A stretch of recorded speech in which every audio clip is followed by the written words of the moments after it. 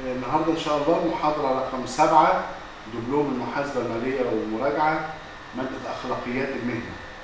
آه، المرة اللي فاتت كنا خلصنا عند التجربة الإنجليزية والنهارده هنتكلم مع بعض عن تجربة اليابان التجربه اليابانية في أخلاقيات وسلوك المهنة. طبعا اليابان من الدول المتقدمة وبرضه بتلتزم بأداب وسلوكيات المهنة حسب أخلاقيات المهنة الدولية والأمريكية فتعالوا مع بعض نشوف التجربة اليابانية اللي موجودة صفحة 423 التجربة اليابانية هنبدأ أول حاجة بالمبادئ الأساسية بتاعتها صفحة 425 في آخر الصفحة. يجب على العضو أن يلتزم بالمبادئ الأساسية لقواعد السلوك الأخلاقي عند أداء الخدمة المهنية.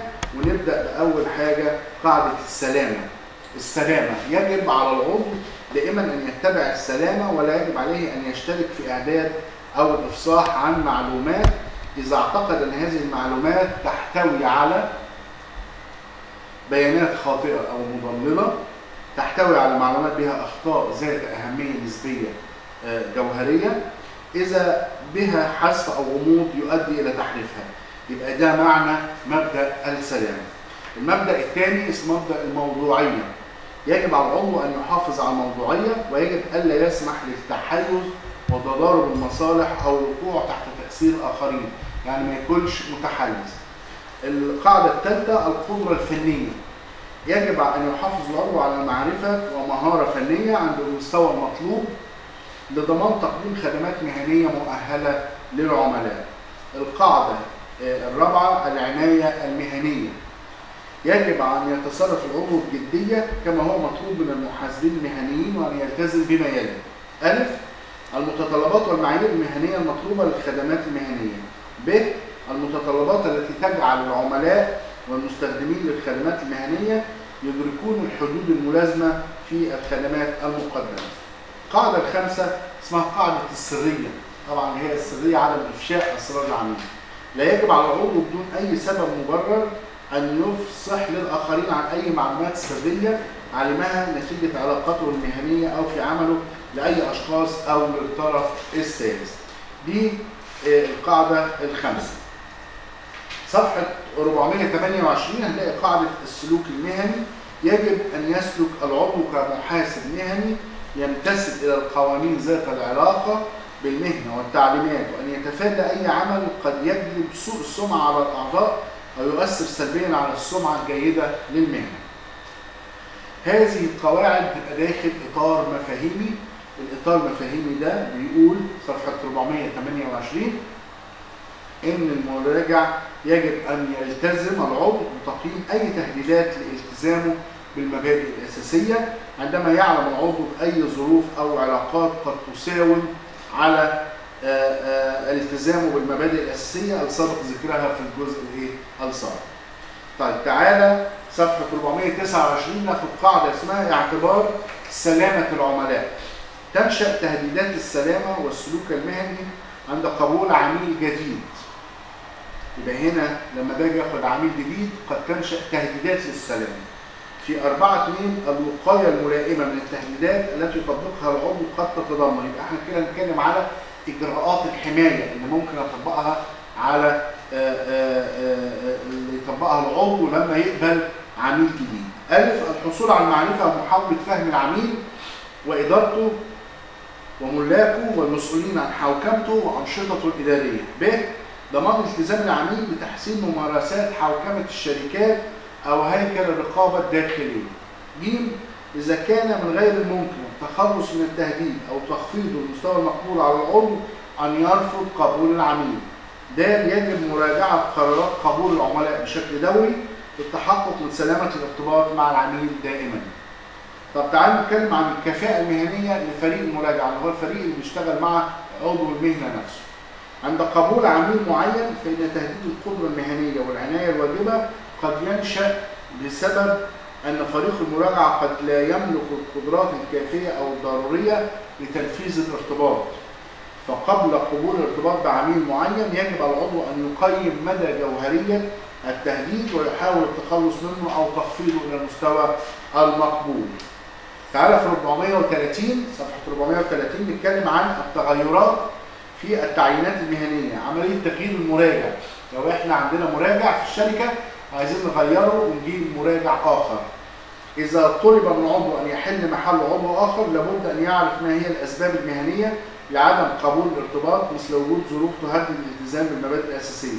يعني لما يجي يطلبني لازم أعرف ليه هم أنهوا الارتباط مع العضو إيه؟ السابق في 431 النقطة اللي هي 6 4 إذا كان العضو مقترح غير قادر على الاتصال الكامل مع العضو الحالي يمكنه رفض الارتباط مع العميل. لازم اتصل بالمراجع السابق إذا ما قدرتش اتصل بيه فأقدر أرفض الارتباط مع هذا العميل. لأن لازم أعرف إيه سبب إنهاء الارتباط مع العميل السابق مع العضو السابق آه نمرة سبعة قبول الأعمال الإضافية للعضو. لو جات لي أعمال إضافية قد يطلب العضو من عضو آخر أن يتولى عمل مكمل أو إضافي. ففي مثل هذه الظروف قد تسبب تهديدات محتملة للقدرة المهنية والعناية المهنية لذلك العضو الناتجة عن نقص المعلومات وهنا يجب تقييم هذه التهديدات وتخفيضها إلى مستوى مقبول لو طلب مني أقوم بأعمال إضافية لصالح زميل ليا قد يسبب ده تهديد آه ليا آه نتيجة نقص المعلومات فلازم أخفض هذا التهديد إلى المستوى المقبول. في صفحة 432 نتكلم عن كيفية التصرف إذا وجدت إيه؟ تضارب مصالح.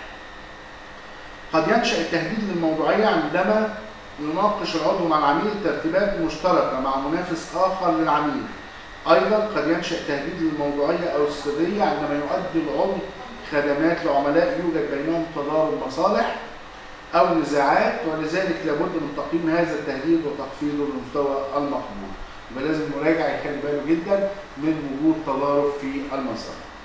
في نمرة 9 تحت في 432 الرأي الثاني، الرأي الثاني إن قد يطلب مني رأي إضافي بعد رأي العضو الأساسي. في مواقف معينة قد يطلب من العضو أن يعطي رأي آخر عن عملية محاسبة أو مراجعة. أو عن مبادئ أو معايير في ظروف معينة عن عميل ليس عميله يواجه تهديدات بعدم الالتزام بالمبادئ الأساسية. في مثل هذه الظروف يجب أن يقوم العضو بالآتي لما يطلب منه رأي ثاني. الحصول على موافقة العميل للاتصال بالعضو الحالي. ده أولا لازم تاخد موافقة من العميل إنك تتصل بعضو الممارسة الحالية. اثنين يصف القيود التي تحيط بالرأي عند الاتصال بالعميل عند الإفصاح عن الحقائق والحصول على أدلة الإثبات. ثالثا إذا لم يسمح أو لم تسمح الشركة للعضو بالاتصال بالعضو الحالي فإنه قد لا يقوم بإبداء الرأي لهذه الشركة يعني ما سمحوليش أتصل بالعضو السابق ممكن أرفض إن أنا أقوم بهذه الخدمة. طب بالنسبة لقاعدة الأتعاب قاعدة الأتعاب بيقول يجب أن يحصل العضو على أتعاب عادلة تعكس طبيعة وقيمة الخدمات المهنية المؤداة للعملاء فالعضو لا يجب أن يتقاضى أتعاب منخفضة بدون مبرر. طيب نتكلم عن قاعدة اسمها الأتعاب المشروطة. الأتعاب المشروطة مرفوضة أساسا اللي هو إن أنا أحط أتعابي مبنية على شرط إن أنا أحصل على نسبة معينة من حاجة معينة تتحقق. إن قبول ارتباط مبني على اتفاق يجعل الأتعاب محسوبة على أساس يرتبط بالنتائج أو نتيجة صفقة أو نتيجة عمل مؤدب يسبب تهديد للموضوعية. وإذا كان هذا التهديد غير مقبول يجب على العضو ألا يقبل هذه الأتعاب المشروطة. في صفحة 434 نتكلم عن الأتعاب المخفية عندما عند قبول العضو أداء خدمات مهنية يجب ألا يستلم أو يدفع أتعاب مخفية أو عمولات أو أي أتعاب أخرى تتعلق بالحصول على الارتباط بالعميل زي العمولات، الأتعاب المخفية زي إن أنا أدي عمولة مقابل الحصول على عمل. يجب ان أنا أرفض آخذ عمولة أو أدفع عمولة في مقابل الحصول على عمل. بالنسبة لتسويق الخدمات المهنية يعني لما المراجع يسوق لخدماته يجب على العضو أن يكون صادق وأمين عند الإعلان عن خدماته المهنية ولا يجب أن يجلب على المهنة سوء السمعه، يعني يقول كلام حقيقي ما يزودش في الكلام ولا يعمل نوع من الإيه المبالغة عند تسويق خدماته. صفحة 435 قاعدة الهدايا والهبات قد يعرض على العضو هدايا أو هبات من العميل الذي سيقدم له الخدمة المهنية والعكس قد يعرض العضو هدايا أو هبات على العميل حتى يقوم بأداء الخدمة المهنية له. إن هذا العرض يسبب تهديدات للموضوعية وإذا تم تقييم هذه التهديدات ولم تكن عند المستوى المقبول يجب على مكتب المراجعه أو العضو رفض هذه العروض يجب رفض هذه العروض المراجع المفروض لا ياخذ هداية ولا هبات. طب نتكلم عن قاعدة اسمها موضوعية الخدمات المهنية صفحة 435 موضوعية الخدمات المهنية. عند تقييم تقديم أي خدمة مهنية هناك تهديدات محتملة للموضوعية نتيجة عن حقيقة أن العضو أو زوج العضو أو أي قريب له حتى الدرجة الثانية الآباء الأشقاء الأجداء الأجداد الأحفاد الزوجه والاطفال كل دول والذين قد يشتركون في إعادة العضو قد يكون لهم مصالح أو علاقات وثيقة مع العميل يعني حد من قرايبي له علاقة مع الشركة أو المديرين أو العاملين لديه إن وجود التهديدات للموضوعيه عند تقديم أي خدمات مهنية سوف تعتمد على الظروف المعنية للارتباط وطبيعة العمل وعلى العضو أن يقيم أهمية هذه التهديدات ويأخذها في الاعتبار إذا كانت عند المستوى المقبول. قاعدة الاستقلال عندما يقبل العضو ارتباط مع عميل يجب عليه أن يحافظ على استقلاله على العميل وطبعا معروفة جدا إن قاعدة الاستقلال من أهم القواعد لازم يبقى في عندي استقلال يبقى ماليش أي مصالح مع الشركة. قاعدة رقابة الجودة صفحة 437 رقابة الجودة يجب على العضو أن يسعى لتحقيق الجودة في أداء الخدمات المهنية من خلال هيكل تنظيمي جيد وتوفير توجيه وإشراف ملائم على المساعدين. قاعدة منع استعارة الاسم يجب على العضو ألا يسمح لأي شخص لا يعمل لديه أن يؤدي خدمات مهنية باسم العضو ولا يسمح لأن يقوم أي شخص لا يعمل لدى العضو بإبداء الرأي في أي خدمة مهنية يعني ما يسلفش اسمه لحد ما بيشتغلش معاه في المكتب. قاعدة إبداء الرأي في الأحداث المستقبلية على العضو أن يمتنع عن إبداء الرأي بأي أسلوب قد يضل للآخرين أو يعتقدوا أن العضو يشهد على صحة تحقق الأحداث المستقبلية. طبعا إحنا كأعضاء في مهنة المراجعة لا نتحقق أو لا نراجع إلا الأعمال الفعلية الماضية لكن التحقق للأحداث المستقبلية ما أقدرش أشهد بأن هي هتتحقق فعليا إنما ممكن يكون نوع من توقعات بتبقى بتقرير عن أحداث مستقبلية لكن ما بديش تأكيد إن أنا الأحداث دي هتتحقق في المستقبل. بالنسبة للأعمال الأخرى غير الملائمة دي صفحة 438 على العضو ألا ينشغل في نفس الوقت بأي عمل آخر أو نشاط يضعف من قدراته المهنية وموضوعيته والثقة العامة في أداء خدماته، يعني ما يشغلش نفسه بأعمال تضيع أو تقلل من قدرات قدراته وأعماله. بالنسبة للتصرفات الممنوعة تجاه الأعضاء الآخرين يجب أن يمتنع العضو عن التصرفات التالية اولا يفتري على أو يضعف من السمعه المهنية لاعضاء الآخرين يعني يحاول يضعف زملائه الآخرين المنافسين بالنسبة له. يتجاوز على ممارسات الأعضاء الآخرين بوسائل غير عادلة. عروض التوظيف أن يعرض على مساعدي أعضاء آخرين العمل لديه بما يعيق ممارسات الأعضاء الآخرين بشكل ملحوظ يعني ما ياخدش منه الموظفين بكده تبادل المناقشات بين الأعضاء صفحة 438 على الأعضاء الذين يؤدون خدمات مهنية أن يتصلوا ويتشاوروا مع بعضهم البعض يعني مفيش مانع إن أنا أتصل بزميل أسأله عن بعض النقاط الفنية. إذا كنت أنا مش واثق فيها يعني يبقى في نوع من تبادل المناقشات بين الأعضاء ده ما فيهوش مشكلة.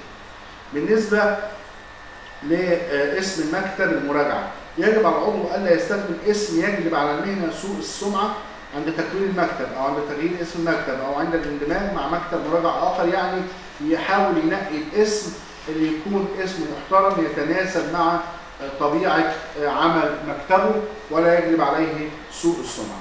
دي التجربة يعني نتوقف عند 438 دي التجربة اليابانية النقاط اللي أنا اتكلمت فيها هي فقط النقاط اللي تخص التجربة اليابانية في أخلاقيات وسلوك المهنة وأشكركم.